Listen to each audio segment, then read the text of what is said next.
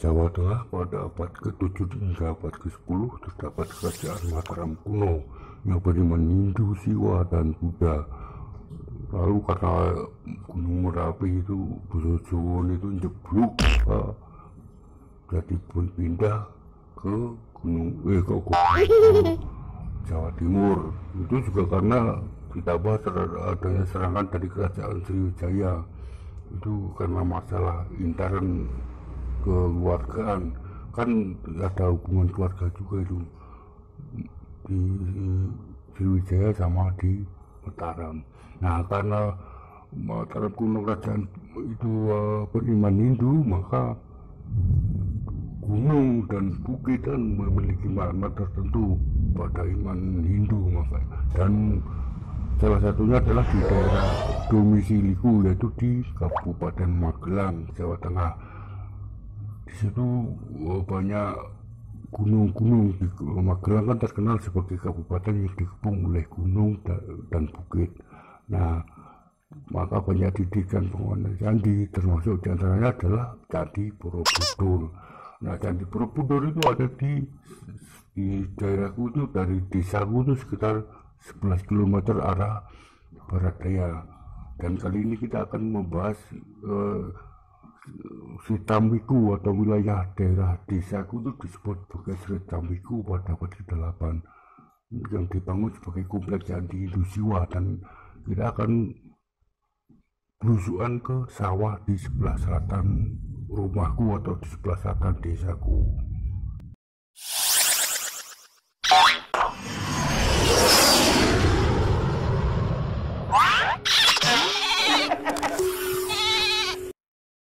Kita mulai dari sebuah kali kecil di selatan rumahku. Selatan rumahku sudah beda RW beda RT ini disebut sebagai kali gung kita lihat dulu tekstur tanahnya karena banyak batuan memanjang seperti bekuan lahar itu.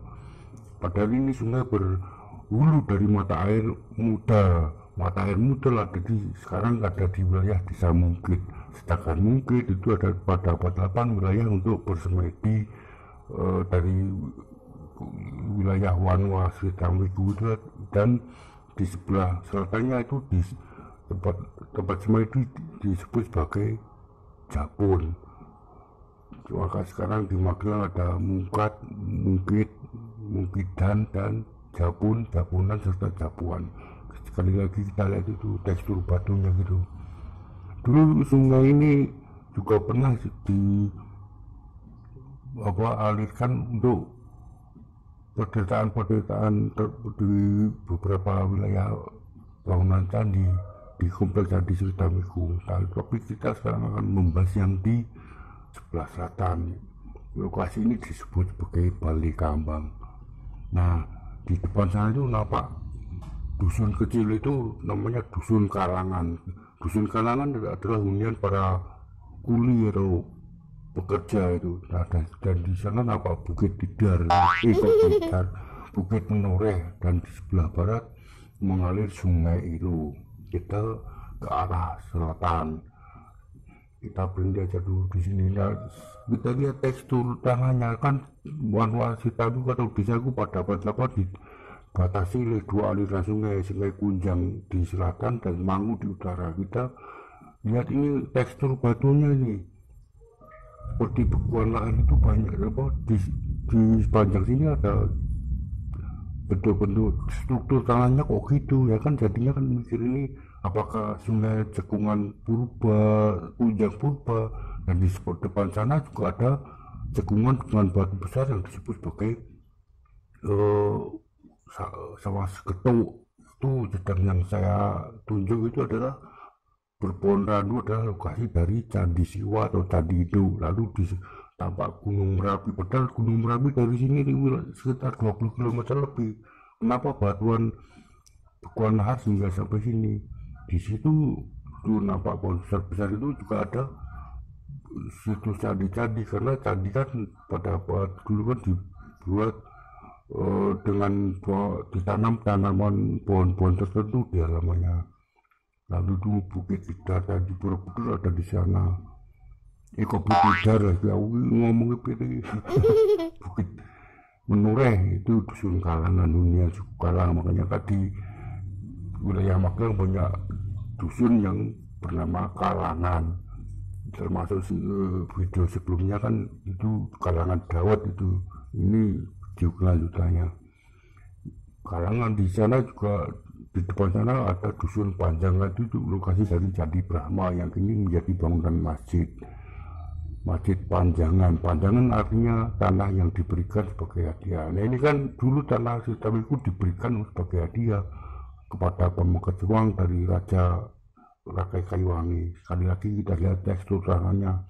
Tanah di daerah sini itu enggak dalam dan apa teksturnya itu mirip bekuan lahar gitu nah makanya saya kan ini berarti dulu cekungan sungai Kunjang di sana ada sawah.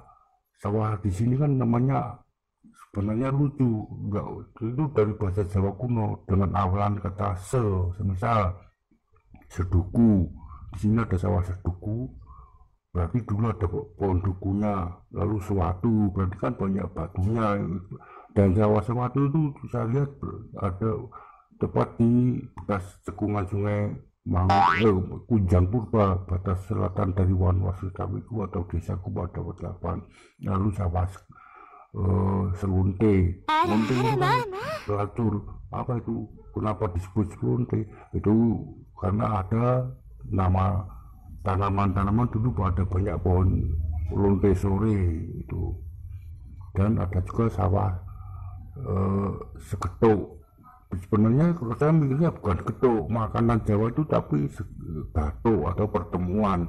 Karena lokasinya tepat di dekat dari cekungan sungai Mangu berbuah di utara yang dibuat mengalir selatan untuk mengaliri pedesaan bagi candi perwaranya candi Wisnu di dusun Kergunung.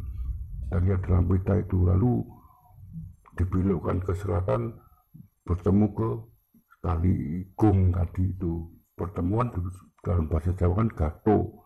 Tapi kalau lidah sini jadi getuk kita lihat aja nih batu-batu besar gini gimana bisa ada di sawah?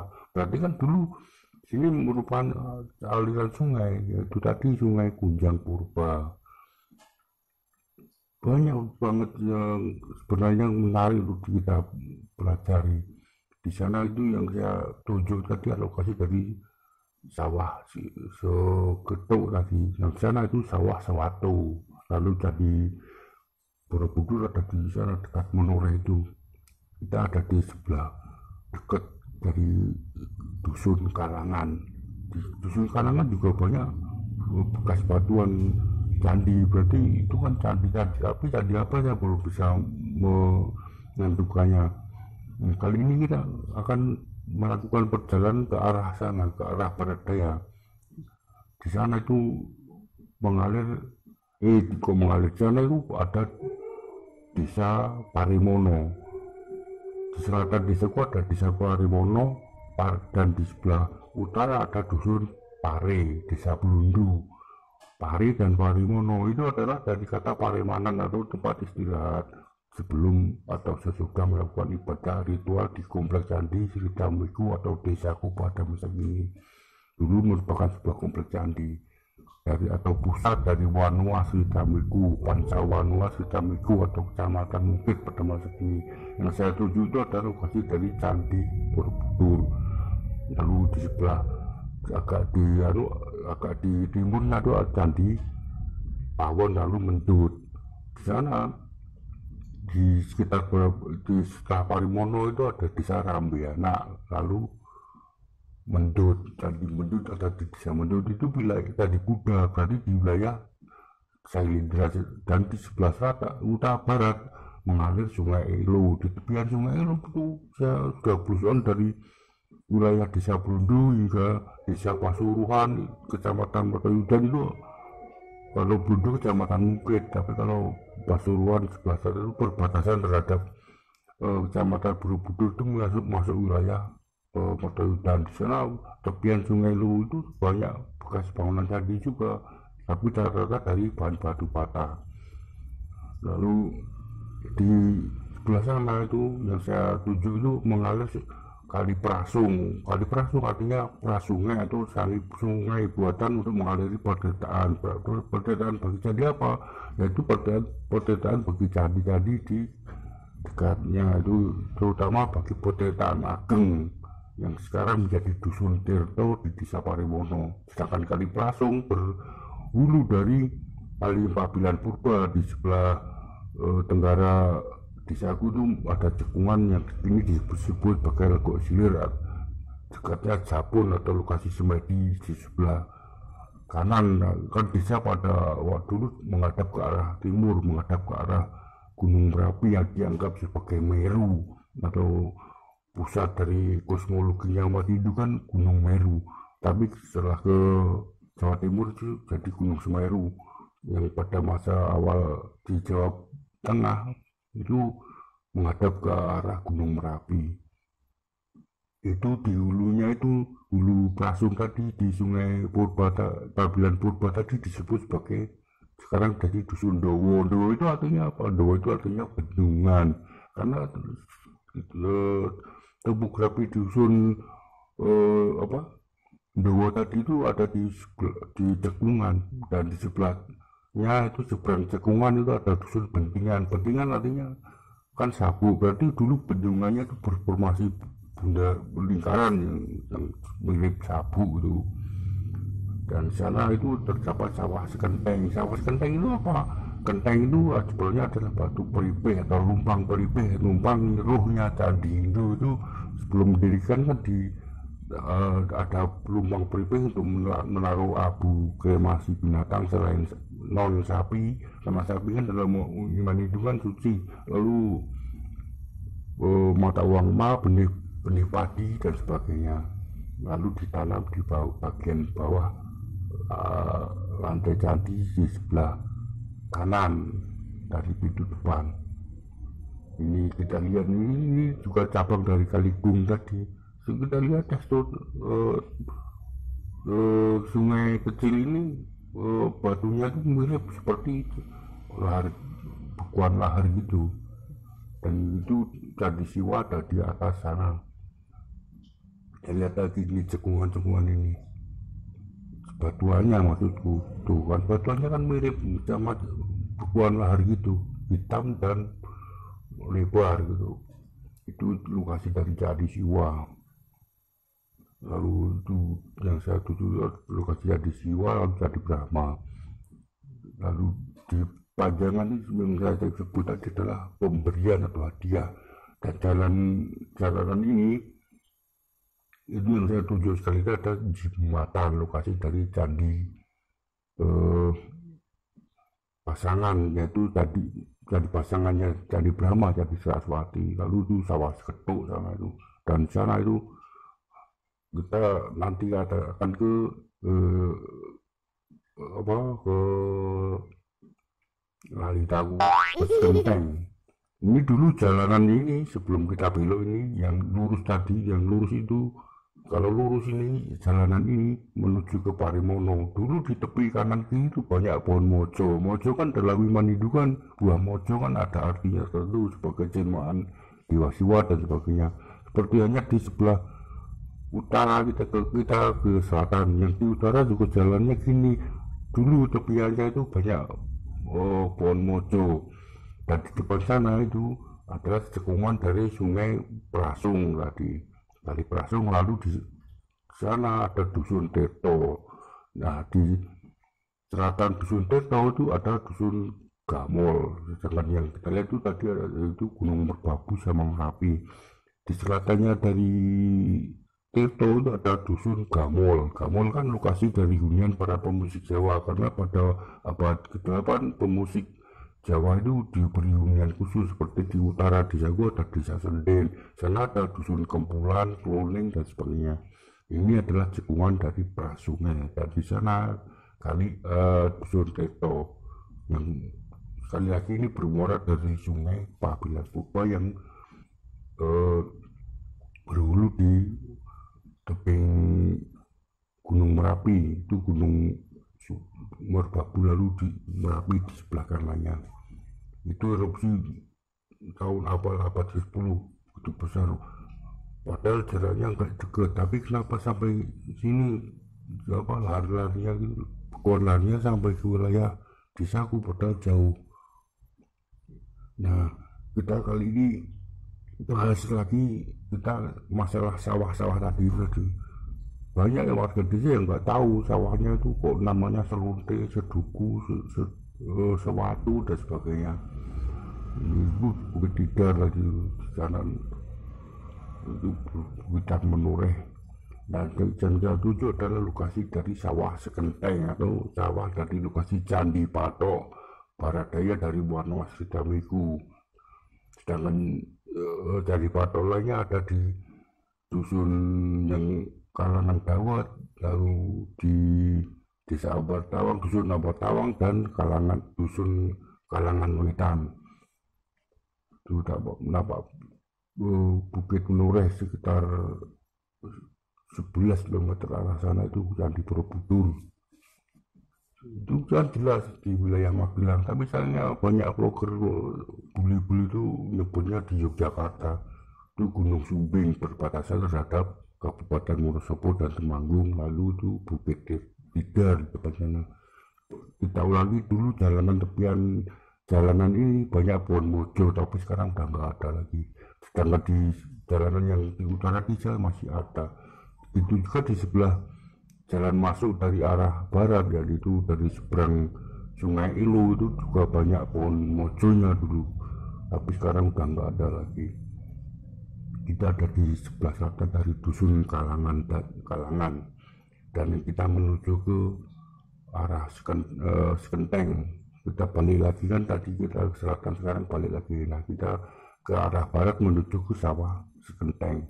Sawah ini sekitar ini disebut sebagai sawah sewatu karena kenapa disebut sewatu karena banyak batunya. Dan seperti kita lihat udah sultananya kan banyak kerikil-kerikil dan batuan batuan-batuan gitu. Tuh ini sawah sewatu saya tahu betul karena di depan sana itu ada sawah almarhum bule itu sana juga ada sawah namanya di sawah sewatu kita cek kita lihat kita dekatkan aduh. Itu kan batu besar segitu masuk sampai di, di sawah gitu. Kalau dulu bukan sungai kan nggak mungkin kita menuju ke arah barat lagi. Batuan-batuan tersebar di sini. Nah di sawah-sawah itu dulu banyak batuan itu di sawah-sawah itu tapi ini udah pada disingkirkan ke di tepi. Itu sekali lagi dusun kalangan lalu itu gunung merapi jauhnya dari desaku jauh tapi tuh batuan bekas erupsi sampai sini. Kiriman lahar dingin kita ke arah barat menuju ke sawah sekenteng. Dan di sini sebenarnya itu enggak saya syuting sebenarnya ada pohon mojo. Masih ada tersisa pohon mojo. Karena di lokasi yang sakral itu umumnya pada abad 8 itu diberi tanaman tertentu termasuk pohon mojo tuh sekali lagi batuan tersebar di sini namanya sawah sewatu kita menuju ke arah barat. Sorry kalau ngomongnya gini aku ngomongnya kayak gini. Ngomong nih apa adanya suaranya suaranya jelek dan enggak uh, apa luweh pokoknya aku berbagi pengetahuan yang semoga diketahui kita ke arah sana menuju ke sawah sekenteng. Jalanan itu ini kok itu. Ke arah barat daya. Dan jalan ini buntu di sawah dekatnya sawah sekenteng tadi yang disebut sebagai sawah ginggong ginggong adalah nama pohon. Berarti dulu di situ banyak pohon. Ginggongnya atau apa. Nah karena itu kita kan istilahnya ibu desa. Dulu disebut sawah ginggong karena banyak pohon ginggungnya yang ditanam di tepian jalan menuju ke sebuah lokasi yang uh, ini disebut sawah ginggong tadi.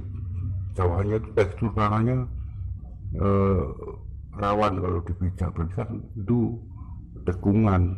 Berarti di, atau berarti apakah itu sebuah kolam atau apa. Nah kita lihat.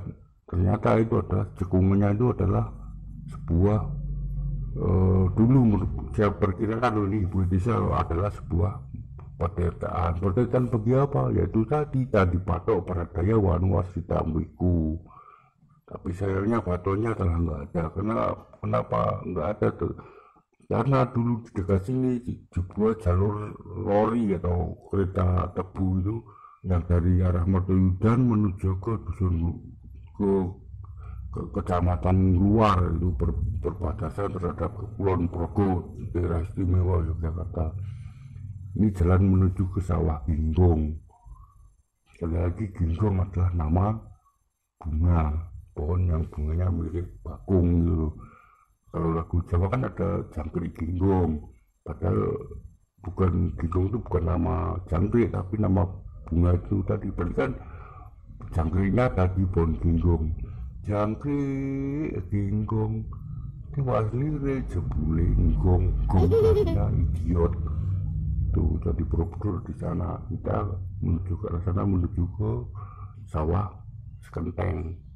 Dulu di sana ada yaitu dusun Gamol sebelah selatan Kenteng itu ada dusun Gamol itu tepati yang banyak pohon-pohonnya di sebelah selatan lokasi ini itu adalah sawah ginggong jalanan sudah terhenti sampai sini nggak sampai sana. Kita ini ada di sebelah barat dari sawah sekenteng sawah sekenteng kan ada lubang peribihnya berarti kan itu lokasi dari Cadi Patok para daya tadi itu. Tapi batuannya telah enggak ada. Dan cuma tersisa batu gentengnya atau lumpang peripehnya dan sawah ini juga sawah dari pamilikku hitungannya kerabat yang saya sebut sebagai pakti ini kita di tepian dari sawah ginggong ini ginggong sawah segenteng. Itu.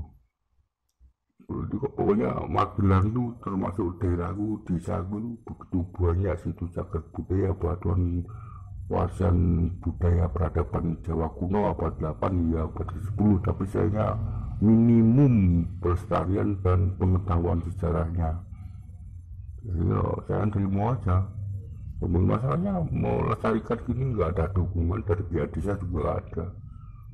Malah banyak diketawain dulu sama warga ngurusi waktu eh sambat nih curhat nih.